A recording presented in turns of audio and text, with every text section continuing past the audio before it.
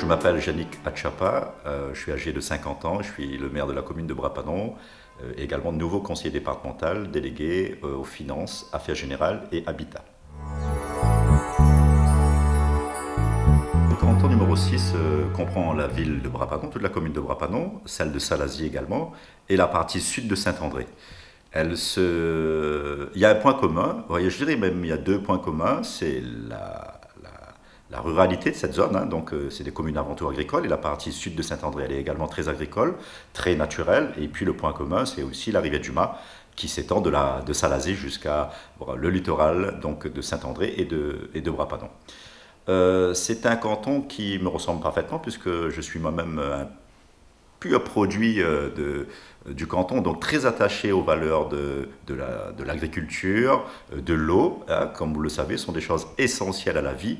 Et euh, je souhaite, à travers ce mandat, avec ma binôme, défendre euh, cette authenticité de notre territoire et en faire un, bassin de développement, un territoire d'avenir, d'excellence autour des jeunes, des moins jeunes, mais également de l'emploi.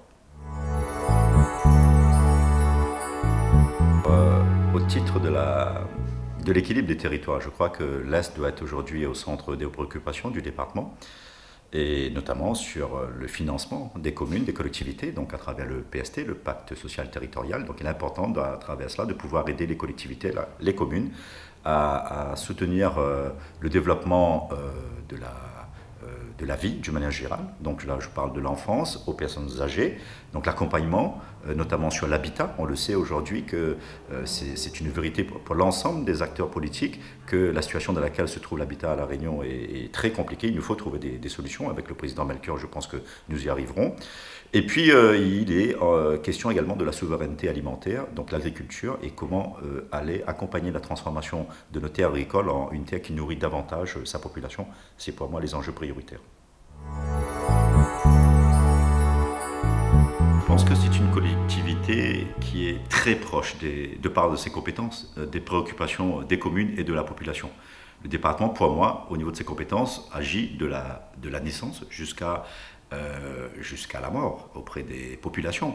Et donc, euh, il, est pour moi un acteur incontournable de développement humain, social, mais également économique de, notre territoire.